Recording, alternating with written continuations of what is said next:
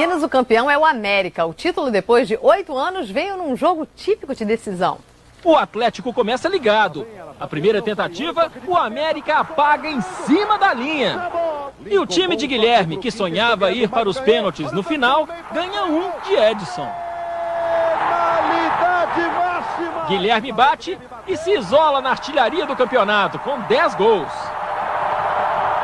A chama dos atleticanos fica cada vez mais acesa. Jogo em alta voltagem. O América perde Edson expulso. E o Atlético fica sem Luiz Carlos. O capitão do América, Wellington Paulo, entra em curto-circuito com o do Atlético, Guilherme.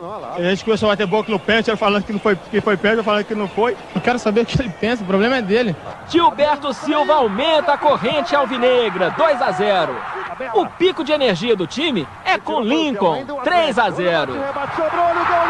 O dia escurece, a iluminação do Mineirão é econômica. E a luz americana surge dos pés de Alessandro, 3 a 1. No último lance do jogo, Fabiano pega a bola do título. Olha o América, América é campeão mineiro! É, eu acho que a gente estava procurando a vitória, conseguimos, mas faltou um gol apenas.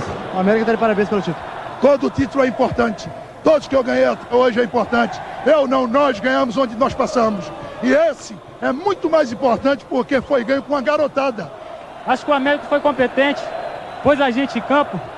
E primeiramente agradecer a Deus pela força, por tudo que ele fez por nós. Depois de oito anos na escuridão, o América em dia iluminado comemora o título do Campeonato Mineiro. E a torcida não quer saber de arredar o pé do estádio. Chega de esperar. Pode soltar o corpo e festejar. Luz na taça. O América é campeão mineiro.